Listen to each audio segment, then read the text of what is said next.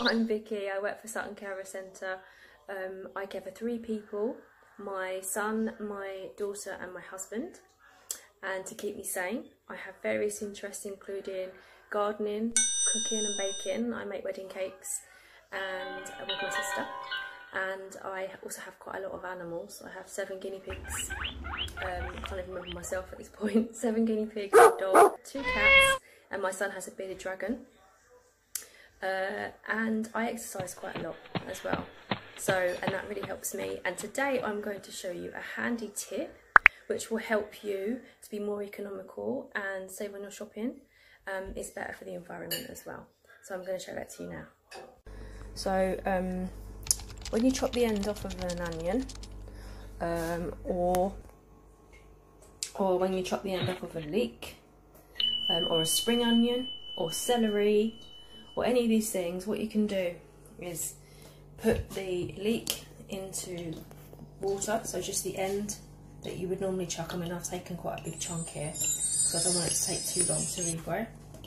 But there's no um, roots, so I don't know if this is going to work. But these ones will. See the roots on the spring onion.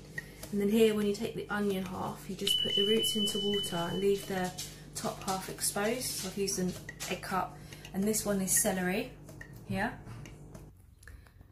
and here are the ends of some spring onion. So I'm just like trying to get some life back into the roots. And then even this tiny little bit it should regrow should start growing. Uh, so this is a garlic clove. And you just the bit that comes out the top when it's been left for quite some time they start to shoot. Um, and then you just put it about a thumb deep and a hand width apart. The same, look at this one. So I'm going to put one here. I'm going to cover that over. And I've got some food. Yeah. I'm just going to water it. That will make me a nice new garlic clove. I will get a whole bulb out of that one clove.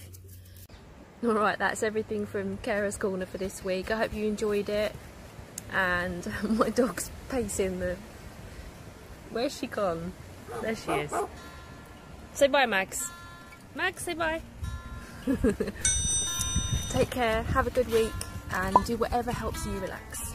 See you soon. Bye.